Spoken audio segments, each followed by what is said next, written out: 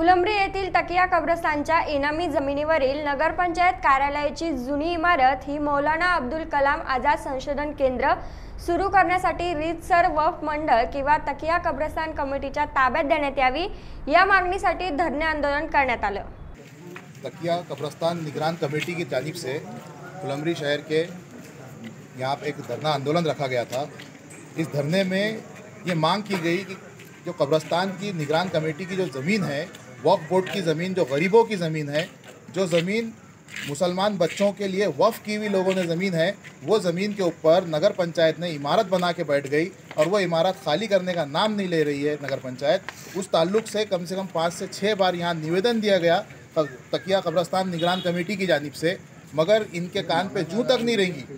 और ये जो बिल्डिंग आज उन्होंने खाली करके दूसरी जगह चले गए और बिल्डिंग आज वीरान पड़ी हुई है, मगर उस बिल्डिंग को देखने वाला कोई नहीं है। हमारा ये हमारा ये मांग थी इसमें, तकिया कब्रस्तान निगरान कमेटी की जानिब से कि इस इस बिल्डिंग को मौलाना आज़ाद रिसर्च सेंटर के लिए दिया जाए, ताकि वहाँ मुस्लिम बच्चे या कोई गरीब बच्चे वहाँ तालीम हासिल कर सके या एजुकेशन के लिए कुछ ना कुछ अपना बंदोबस्त कर सके। इमारत वक्फ कमेटी को दी जाए, इस मांग को लेकर धरने आंदोलन तहसील कार्यालय के सामने किया गया और इस आंदोलन के चलते तहसीलदार डॉक्टर शीतल राजपूत मैडम ने हमें आश्वासन दिया है कि जल्द से जल्द आपकी मांग के ऊपर गौर करके जो है तो जल्द से जल्द जो है तो इस पर कार्रवाई की जाएँगी। और इसी के चलते जो है तो मुख्याधिकारी